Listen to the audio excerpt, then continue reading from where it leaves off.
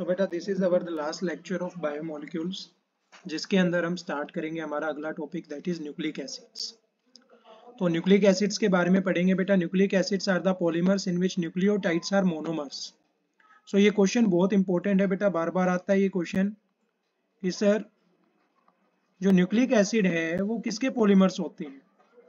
What are the nucleotides in nucleic acid तो nucleic acids are the polymers in which nucleotides are the monomers monomers क्या होते हैं बेटा? Nucleic acid के nucleotides होते हैं।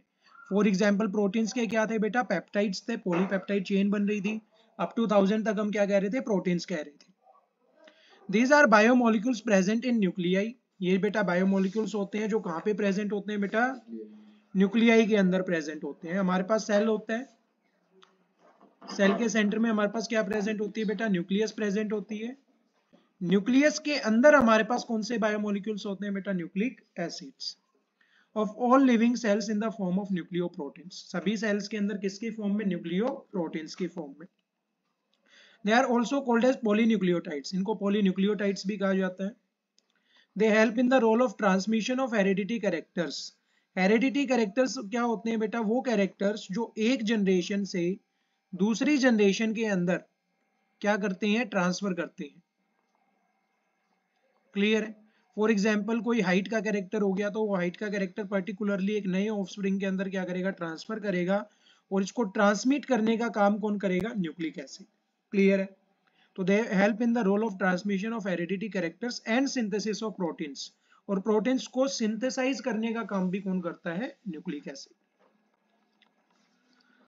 each nucleotide consist of three parts हर एक nucleotide के बेटा तीन पार्ट्स होते हैं। एक तो होता है बेटा pentose sugar nitrogenous base and the last one is phosphate group the nitrogenous base and a pentose sugar are called as nucleoside nitrogenous base और पेंटोज शुगर को हम क्या बोलते हैं बेटा? न्यूक्लियोसाइड्स बोलते हैं।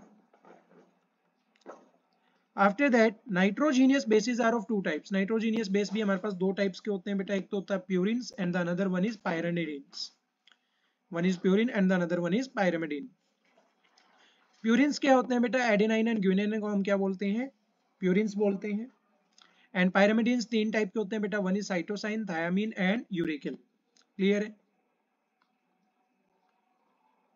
तो दीज आर द पायरामिडिन्स आप यहाँ पे देख सकते हो बेटा, यहाँ पे स्ट्रक्चर बना रखा है। किसका स्ट्रक्चर बना रखा है? एडेनाइन का और साइटोसाइन का। यहाँ पे हमारे पास क्या है? सिक्स कार्बन एटम्स है। यहाँ पे हमारे पास नाइट्रोजन बेस है बेटा। साथ में क्या लगा रखी है? डबल बॉन्ड्स बना रखी। क्लियर है? ये नाइट्रोजन बॉन्डेड है। यहाँ पे नाइट्रोजीनियस बेस है। यहाँ पे भी नाइट्रोजीनियस बेस है और यहाँ पे भी नाइट्रोजीनियस बेस है। क्लियर है? तो this is nitrogenous bases compounds and nitrogenous bases के अंदर भी कौन सा है बेटा? एडेनाइन है। Adenine is a part of purine तो ये हमारे पास किसका स्ट्रक्चर बना रखा है? एक प्यूरिन का स्ट्रक्चर बना रखा है। जबकि आप देखोगे एक स्ट्रक्चर किसका बना रखा है? साइटोसाइन का। साइटोसाइन क्या होता है बेटा? It is a type of pyrimidine that is another nitrogenous base तो यहाँ पे हमारे पास कितने नाइट्रोजन है बेटा? थ्री नाइट्रोजन है।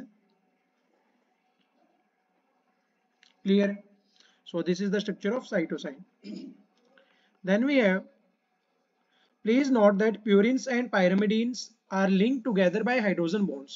Purines और पायरामिडीन्स एक दूसरे के साथ लिंक्ड होते हैं, बेटा किस तरीके से लिंक्ड होते हैं by hydrogen bond adenine always bond with thymine adenine हमेशा किसके साथ बॉन्ड बनाता है बेटा? थायामीन के साथ. या फिर थायामीन हमेशा किसके साथ बॉन्ड बनाता है बेटा? एडेनाइन के साथ. और वाइस वर्सा और कौन सी बॉन्ड बनाता है बेटा? Double bond cytosine always pairs with guanine cytosine हमेशा किसके साथ पेयरिंग करता है बेटा? ग्विनिन के साथ बाय ट्रिपल बॉन्ड और वाइस वर्सा ट्रिपल बॉन्ड के साथ, या फिर ग्विनिन किस साइटोसाइन के साथ क्या बनाता है? एक ट्रिपल बॉन्ड बनाता है। क्लियर है? तो ये आपको याद रखना है कि प्यूरिन और पायरामिडिन एक दूसरे के साथ कनेक्ट हो सकते हैं कौन सी बॉन्डिंग से? हाइड्रोजन बॉन्डिंग से। जिसके अंदर बेटा एडेनाइन जो होता है वो किसके साथ कंबाइन होता है? थायामीन के साथ। एडेनाइन थायामीन के साथ किस तरीके से कंबाइन होता है बाय डबल बॉन्ड या फिर थायामीन एडेनाइन के साथ किस तरीके से कंबाइन होता है बाय डबल बॉन्ड इसी तरीके से साइटोसाइन किसके साथ कंबाइन होता है बेटा? ग्विनिन के साथ बाय ट्रिपल बॉन्ड और ग्विनिन किसके साथ कंबाइन होता है by cytosine with triple bond clear है? Then we have DNA DNA क्या होता है बेटा? DNA is deoxyribose nucleic acid it occurs in nucleus of cell ये कहाँ पे होता है बेटा? सेल की न्यूक्लियस के अंदर होता है. It has double standard helical structure इसका क्या होता है बेटा? डबल स्टैंडर्ड हेलिकल स्ट्रक्चर होता है. हमने प्रोटीन्स वाला स्ट्रक्चर पढ़ा था टर्शरी स्ट्रक्चर उसके अंदर ये सिंगल स्टैंड वाला स्ट्रक्चर पढ़ा था. अगर इसी में दो स्टेंड्स आ रही हैं बेटा तो उसे हम क्या बोलते हैं? डबल स्टेंडेड हेलिकल स्ट्रक्चर बोलते हैं।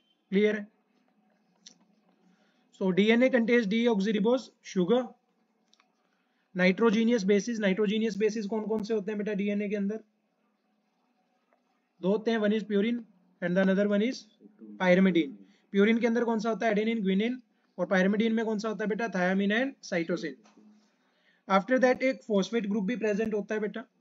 इट कैन अंडरगो रेप्लीकेशन ये किसके अंदर जा सकता है? रेप्लीकेशन के अंदर जा सकता है। What do mean by replication replication का मतलब क्या होता है? रेप्लीकेट होता है बेटा। ये क्लोनिंग एक टाइप का क्या होता है? क्लोनिंग वेक्टर होता है कि इसको अगर हम इसके बेस को कट कर दें, ये कहीं से भी बेस कट हो सकता है। कोई भी शेप कंटेमिनेट नहीं होती, इसकी फ्यूज शेप होती है। तो कहीं से भी कट के ये क्या करता है? अपनी क्लोनिंग कर लेता है। डीएनए को क्या करता जाता है? क्लोन बनाता जाता है। That is a process of replication it helps in transfer of genetic information genetic information को ट्रांसफ़र करने के लिए कौन यूज़ किया जाता है? DNA from parents to offspring then RNA RNA क्या होता है बेटा? It occurs in cytoplasm of cell RNA कहाँ पे पाया जाता है? सेल के साइटोप्लाज्म के अंदर पाया जाता है। साइटोप्लाज्म क्या होता है बेटा? सेल के अंदर जो फ्लूइड टाइप मटेरियल होता है that is known as cytoplasm जिसके अंदर क्या पाया जाता है? RNA it consist of ribo sugar ribo sugar होती है नाइट्रोजीनियस बेस होते हैं कौन कौन से बेटा? प्यूरिन के अंदर एडेनाइन एंड ग्विनिन, जबकि पैरामिडीन में क्या होते हैं बेटा? साइटोसिन और यूरेसिल। एक फोस्फेट ग्रुप होता है। It has a single state helical structure DNA का कैसा स्ट्रक्चर था बेटा? डबल स्टैंडर्ड हेलिकल स्ट्रक्चर था। इसका कैसा स्ट्रक्चर होता है बेटा? सिंगल स्टैंडर्ड हेलिकल स्ट्रक्चर होता है। इट डजंट अंडरगो रेप्लिकेशन ये रेप्लिकेशन के अंदर नहीं जाता क्या? डीएनए जा सकता है? बिल्कुल जा सकता है सर तो these are the major differences between DNA and RNA it control synthesis of proteins ये किसकी सिंथेसिस को कंट्रोल करता है बेटा? प्रोटीन्स की सिंथेसिस को डीएनए किसकी सिंथेसिस को कंट्रोल करता है बेटा? ये क्या करता है? हेल्प करता है जेनेटिक इंफॉर्मेशन को ट्रांसफ़र करने के लिए फ्रॉम पेरेंट्स टू ऑफस्प्रिंग्स जबकि आरएनए क्या करता है बेटा? सिंथेसिस का काम करता है। किसकी सिंथेसिस करता है? प्रोटीन्स की। क्लियर है? तो मैं अगर आपसे पूछूँ डीएनए का मेजर फ़ंक्शन क्या होता है? To pass the genetic information from parents to offspring जबकि मैं आपसे पूछूँ आरएनए का फ़ंक्शन क्या होता है? तो आरएनए का फ़ंक्शन क्या होता है बेटा? To synthesize the proteins proteins को सिंथेसाइज करने के लिए यूज़ किया जाता है। Then we have we will talk about structure of DNA and RNA तो सबसे पहले कौन सा स्ट्रक्चर आता है बेटा? प्राइमरी स्ट्रक्चर तो the nucleic acids are formed by condensation of thousands of molecule of nucleotides कि thousands of molecules of nucleotides को अगर हम मिलाते हैं कंडेंसेट करते हैं तब हमारे पास किसकी फॉर्मेशन होती है बेटा? न्यूक्लिक एसिड की। On hydrolysis the nucleotides produce phosphoric acid and nucleoside अगर बेटा हम इसकी हाइड्रोलिसिस करें एडिशन ऑफ़ वाटर करें तो वाटर की एडिशन पे ये किसकी फॉर्मेशन करता है? न्यूक्लियोटाइड्स या फिर फॉस्फोरिक एसिड की क्या करता है बेटा? फॉर्मेशन करता है। It means nucleosides on hydrolysis जब हम न्यूक्लियोसाइड्स की हाइड्रोलिसिस करते हैं फॉर्म प्योरिन क्या तो ये बेटा प्योरिन बनाता है या फिर क्या बनाता है? Pyrimidine base and sugar moiety nucleic acid is converting into nh3 plus nucleosides nucleotides are converting into nh3 and nucleosides plus phosphoric acid अगर हम इसको डाइल्यूट HCl की प्रेजेंस में ऐड करवाते हैं तो ये क्या बनाता है बेटा प्यूरिन्स पायरामिडीन्स एंड शुगर तो this is the process of conversion of nucleic acid to purines pyrimidines and sugar clear है बेटा nucleosides are building blocks of nucleic acid nucleotides क्या होते हैं? बिल्डिंग ब्लॉक्स होते हैं। अगर हम एक यूनिट को बार बार रिपीट करते चले जाएँ तो हमारे पास किसकी फॉर्मेशन होती है बेटा? न्यूक्लिक एसिड की फॉर्मेशन होती है। This all are nucleotides. This is nucleotide one this is nucleotide two. इसी तरीके से बहुत सारे न्यूक्लियोटाइड्स को जब हम कंबाइन करते जाएँगे रिपीट करते जाएँगे तो हमारे पास किसकी फॉर्मेशन होगी? न्यूक्लिक एसिड की फॉर्मेशन होगी। क्लियर है? Then these nucleotides are linked together with one another. ये जो न्यूक्लियोटाइड्स होते हैं बेटा, ये एक दूसरे के साथ क्या होते हैं? लिंक होते हैं। इन अ पर्टिकुलर सीक्वेंस एक सीक्वेंस के अंदर phosphate groups forming bridges phosphate group क्या बनाता है बेटा? ब्रिज बनाता है किसके बीच में? C5 of the sugar sugar के C5 कार्बन फिफ्थ कार्बन के साथ में residue of the one nucleoside and C3 of the sugar residue of the another nucleoside. तो हमारे पास न्यूक्लियोसाइड वन होगा न्यूक्लियोसाइड टू होगा तो दोनों एक दूसरे के साथ क्या होंगे? लिंक होंगे एक पर्टिकुलर सीक्वेंस के अंदर, जिसमें फोस्फेट ग्रुप जो है, वो क्या बनाएगा बेटा? एक ब्रिज बनाएगा किसके बीच में? एक तो न्यूक्लियोसाइड के फिफ्थ कार्बन एटम के बीच में और एक सेकेंड न्यूक्लियोसाइड के थर्ड कार्बन एटम के बीच में. क्लियर है? The manner in which the sugar phosphate and bases are linked with another वो मैनर बेटा जिसके अंदर शुगर हो गया फोस्फेट हो गया एंड बेसिस जो है, वो एक दूसरे के साथ लिंक है न्यूक्लिक एसिड्स में उसे हम क्या बोलते हैं? Primary structure of nucleic acid ये जो स्ट्रक्चर बनेगा हमारे पास, इसे हम क्या बोलेंगे? Primary structure of nucleic acid बोलेंगे। The manner in which the phosphate group the fifth carbon atom the third carbon atom of both the nucleotides are linked with each other, that is known as primary structure of nucleic acid. Clear? Then we have secondary structure. तो Watson and Crick explain the double helix structure of DNA Watson and Crick ने क्या किया था बेटा? Double helix structure को explain किया था। किसके डबल हेलिक स्ट्रक्चर को? डीएनए को। डबल हेलिक्स क्यों कहते हैं? क्योंकि इसके अंदर क्या होती हैं? दो स्ट्रेन्स होती हैं। The nucleotides in each strand are connected by phosphate group जो न्यूक्लियोटाइड्स है बेटा, हर एक स्ट्रेन के अंदर किससे कनेक्ट होते हैं? एक फॉस्फेट ग्रुप से कनेक्ट होते हैं एस्टर बॉन्ड के साथ and bases of one stand by hydrogen bonds और एक बेस का जो स्ट्रैंड है बेटा, वो किसके साथ कनेक्ट होता है? हाइड्रोजन बॉन्ड के साथ। तो adenine pairs with thymine through two double hydrogen bonds adenine जो है वो थायमिन के साथ पेयरिंग करेगा। कौन सी बॉन्ड के साथ पेयरिंग करेगा बेटा? What is the pairing between the adenine and thymine कौन सी पेयरिंग होती है एडेनाइन और थायमिन के बीच में? पढ़ा था हमने। एडेनाइन और थायमिन के बीच में कौन सी बॉन्ड थी बेटा? डबल बॉन्ड और ग्विनेन एंड साइटोसाइन के बीच में कौन सी बॉन्ड थी बेटा? ट्रिपल बॉन्ड थी। क्लियर है? तो ये आपको याद रखना है। तो adenine pairs with thymine through two double hydrogen bonds दो डबल हाइड्रोजन बॉन्ड्स के साथ क्या करता है? पेयर करता है। वेयर है? साइटोसाइन जो आपका साइटोसाइन होता है बेटा, वो किसके साथ पेयरिंग करता है? ग्विनिन के साथ। कौन सी बॉन्ड के साथ? ट्रिपल हाइड्रोजन बॉन्ड के साथ। हमने पढ़ चुके हैं, अभी अभी पढ़ा था। Then the two strands of DNA are complementary जो दो स्टैंड्स होती हैं बेटा डीएनए की वो क्या होती है? कॉम्प्लीमेंट्री होती है एक दूसरे के साथ। That is if one side there is purine अगर एक साइड कौन सी है? प्यूरिन है then on another side at same position pyrimidine is present दूसरी साइड उसी पोजीशन पे क्या प्रेजेंट होगी? पायरामिडीन प्रेजेंट होगी। दोनों एक दूसरे के क्या होंगे? कॉम्प्लीमेंट्री अच्छा एक साइड अगर पायरामिडीन प्रेजेंट है तो दूसरी साइड क्या होगी बेटा? प्यूरिन प्रेजेंट होगी। For example base sequence of strand is A C T C G C C A अगर यहाँ पे बेटा बेस सीक्वेंस की बात करी जाए तो यहाँ पे क्या है? A C T C G C C A then on another strand the sequence will be complementary तो दूसरी साइड क्या होगा बेटा? कॉम्प्लीमेंट्री होगा। ए का कॉम्प्लीमेंट्री टी सी का कॉम्प्लीमेंट्री जी सी का complementary A after that G का कॉम्प्लीमेंट जी हमारे पास यहाँ पे सेम आ रहा है। तो ये दोनों क्या करते जाएँगे? कॉम्प्लीमेंट्री होंगे एक दूसरे के। क्लियर है? फॉर एग्ज़ाम्पल यहाँ पे मैं इसको मान लू कि एक्स है। तो it will be complementary of X बार ये क्या होगा? एक्स बार होगा। कॉम्प्लीमेंट होगा एक दूसरे के। क्लियर है बेटा? देन बात करें सेकेंडरी स्ट्रक्चर की तो स्ट्रक्चर दिखा रखा है Watson and Crick model of DNA आप यहाँ पे देख सकते हो बेटा, ये क्या है, एक स्टैंड है, और ये कौन सी है स्टैंड नंबर वन है, ये कौन सी है बेटा स्टैंड नंबर टू है। क्लियर है? तो अगर एक स्टैंड के ऊपर कौन सा प्रेजेंट है पायरामिडीन प्रेजेंट है तो दूसरी स्टैंड पे क्या प्रेजेंट होगा बेटा प्यूरिन प्रेजेंट होगा। क्लियर है? अब ध्यान से देखो बेटा, ये हमारे पास शुगर है। तो शुगर के अंदर ये वाला ग्रुप कौन सा है बेटा फोस्फेट ग्रुप है है या नहीं है? अब ये वाला कार्बन आइटम कौन सा है बेटा फिफ्थ कार्बन आइटम है।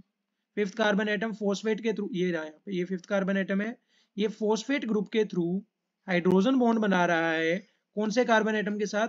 थर्ड कार्बन आइटम के साथ। फिर इसका फिफ्थ कार्बन आइटम कौन सा है बेटा? ये वाला है। ये fifth carbon atom phosphate group के थ्रू कौन सी बॉन्ड बना रहा है बेटा? हाइड्रोजन बॉन्ड कौन से कार्बन के साथ? थर्ड कार्बन आइटम के साथ। क्लियर है? तो एक का फिफ्थ कार्बन एटम दूसरी शुगर के थर्ड कार्बन एटम के साथ क्या होगा? लिंक होगा। कौन से ग्रुप के थ्रू फोस्फेट ग्रुप के through that is known as structure of DNA clear है बेटा? अच्छा यहाँ पे आप देखो पेंटो शुगर जो है, वो साइटोसाइन के साथ कौन सी बॉन्ड बनाएगी बेटा? साइटोसाइन और ग्यूनियन के बीच में कैसी बॉन्ड बनेगी? ट्रिपल बॉन्ड आप देख सकते हो, एक, दो, तीन. क्लियर है? आ गया समझ में? तो साइटोसाइन और ग्यूनियन के बीच में कैसी बॉन्ड बन रही है? ट्रिपल बॉन्ड बन रही है. क्लियर है बेटा? तो that is the secondary structure of DNA then we have functions of nucleic acid nucleic acid के क्या क्या फ़ंक्शंस होते हैं? The first function is replication जैसा कि आपको पढ़ा चुका हूँ बेटा मैं। The genetic information of cell is content in the sequence of bases genetic information होती कहाँ पे है? सेल के बेस के अंदर होती है, जिसमें वो सीक्वेंस बना रखा होता है। A T C and G in DNA molecules in the division of cell और सेल का जब डिवीज़न होता है DNA molecules replicate DNA molecules क्या करते हैं? रेप्लिकेट करते हैं makes exact copies of themselves एक दूसरे की क्या बनाते हैं बेटा? एग्जैक्ट कॉपीज बना लेते हैं so that each daughter cell will have DNA ताकि हर एक डॉटर सेल के पास क्या हो? एक डीएनए हो, जो दूसरे वाले का क्या हो? आइडेंटिकल हो. Identical to the parent cell तो हमारे पास एक डीएनए है बेस पे से क्या हो जाएँगे? कट हो जाएँगे. जो बेस कट हुआ है, वो फिर से क्या बना लेगा? एक डीएनए बना लेगा. और ये दोनों एक दूसरे के क्या होंगे? आइडेंटिकल होंगे. क्लियर है? A new DNA will be identical to the parent Then we have protein synthesis. Protein synthesis का काम किसका होता है? डीएनए या आरएनए का? आरएनए का। क्लियर है बेटा? तो the specific information coded on DNA has to be translated अब ये जो स्पेसिफिक इंफॉर्मेशन हमने कोड करी है डीएनए की, इसको क्या करना होगा? ट्रांसलेट भी करना होगा और एक्सप्रेस भी करना होगा in the form of synthesis of specific proteins which performs various function in the cell. This synthesis is done in two steps ये दो स्टेप्स में होती है बेटा। एक तो होता है ट्रांसमिशन सॉरी एक तो होता है ट्रांसक्रिप्शन और एक क्या होता है ट्रांसलेशन एक तो ट्रांसक्रिप्ट करते हैं और फिर उसके बाद क्या करते हैं? ट्रांसलेट करते हैं। क्लियर है? तो this is the protein synthesis then we have the third part that is gene and genetic code जैसा कि हमें पता है the chromosome which carry the genetic information are known as genes तो each segment of DNA molecules that codes for specific protein हर एक segment बेटा DNA molecule का जो क्या करता है कोड करता है एक स्पेसिफिक प्रोटीन के लिए। या फिर किसी स्पेसिफिक पोलीपेप्टाइड के लिए उसे हम क्या बोलते हैं? जीन या जेनेटिक कोड बोलते हैं। The relationship between nucleotides triplets and the amino acids are called the genetic code relationship जो होता है बेटा न्यूक्लियोटाइड्स के बीच में न्यूक्लियोटाइड्स ट्रिपलेट्स और अमीनो एसिड्स के बीच में, उसे हम क्या बोलते हैं? जेनेटिक कोड बोलते हैं। That is nucleotide triplet after that amino acid तो इन दोनों के बीच में एक रिलेशनशिप ऑप्टेन होता है। That relationship is known as genetic code clear है this is gene and genetic code after that mutation mutation क्या होती है बेटा? It is a chemical change in DNA molecule DNA molecule के अंदर एक केमिकल चेंज आता है, उसे हम क्या बोलते हैं? म्यूटेशन बोलते हैं। म्यूटा रोटेशन नहीं है बेटा ये। म्यूटा रोटेशन एक अलग कॉन्सेप्ट है। म्यूटेशन एक अलग कॉन्सेप्ट है। तो it is a chemical change in DNA molecule which leads to the synthesis of proteins. जिसके कारण क्या होती है? प्रोटीन्स की सिंथेसिस होती है। With a changed amino acid sequence जिसमें बेटा अमीनो एसिड के सीक्वेंस को क्या किया जाता है? चेंज किया जाता है। These changes are caused by radiation. ये changes कैसे लाए जा सकते हैं? रेडिएशन की हेल्प से वायरसेस की हेल्प से या फिर केमिकल एजेंट्स की हेल्प से। The majority of changes in DNA are replicated by special enzymes. जो मेजर चेंजेस आते हैं बेटा डीएनए के अंदर, वो किस वजह से आते हैं? कुछ स्पेशल एंजाइम्स की वजह से जो कहाँ पे प्रेजेंट होते हैं? सेल में। But if there is failure to repair by the enzymes लेकिन अगर इंजाइम्स इसको रिपेयर करने में फेल रह जाते हैं then it can cause mutation तब इसके कारण क्या होता है बेटा? होता है। क्लियर है? So that's all for today's lecture